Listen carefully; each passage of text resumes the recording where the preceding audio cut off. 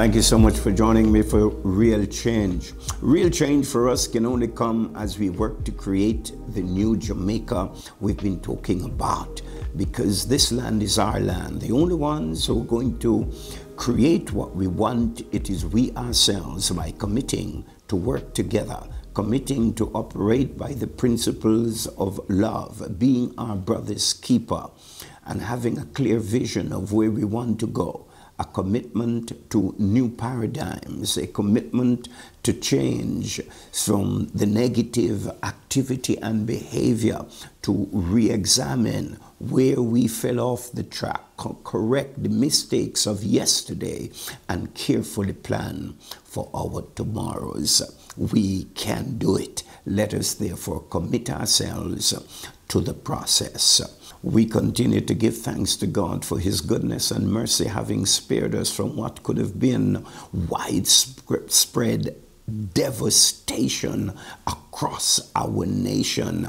But as we have looked to him in faith, he has heard the cry, and we acted in the manner that we could see the mercies of God. But as we said last week, let us not take it for granted. What happens in nature is a result of what we do. We are partakers because the law of sowing and reaping works cause and effect is the reality of how the universe is set. And if we do what is right, sow the right seeds, we will get the right outcomes. So, certainly, let's give thanks to God indeed. We must remember those on the southern end of our nation, Clarendon, um, St. Elizabeth, and in Westmoreland, and they have had damage done to them and suffer significant loss in many cases, we need to remember them. And what a tremendous opportunity for us now to, in the spirit of brotherhood, to come together and to rally around those who are hurting, who have suffered loss, and offer the kind of help that we need to give. I certainly want to congratulate Mr. Lee-Chin of NCB with an offer that he has made. First, I must congratulate him and acknowledging and recognizing the hand of God who has spared us from widespread damage so that we have to say thanks be to God because what it cost our economy, the pressures on it, etc.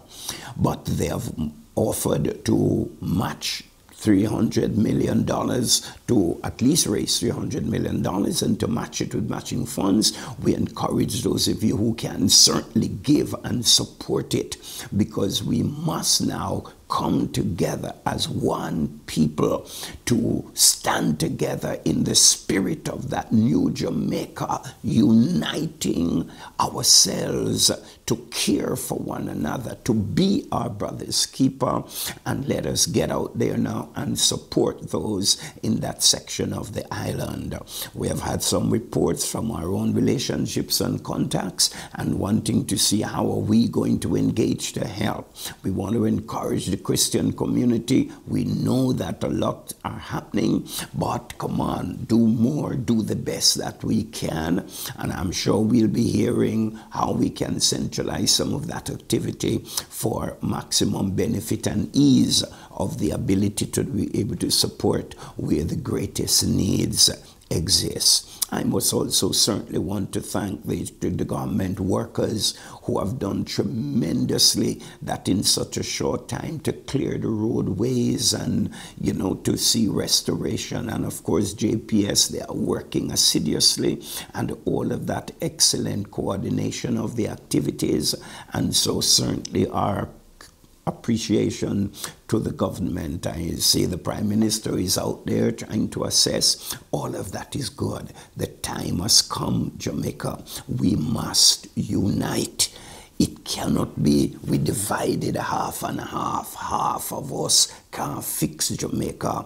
It is a season now where we must begin to see how in greater ways are we going to unite to create that new Jamaica divided we fall. It is united we stand, and we must now creatively talk around the issue of unity to build one Jamaica under God, a united Jamaica, a strong Jamaica, a Jamaica that can fulfill the hopes, dreams, and aspirations of all of our people, where righteousness, truth, and justice will reign in our land. Let's work to that end.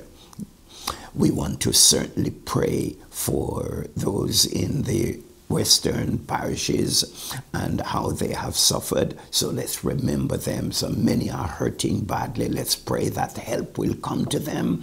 And remember, not just pray help would come, let's be part of that help by contributing, no matter how, how small amount you can give it's a principle and help them as you would want to be done to you had you been in the same situation. So, Father, we thank you again for your amazing grace and mercies towards us as a nation, sparing our economy from devastation, from what could have been. But, Lord, you are good.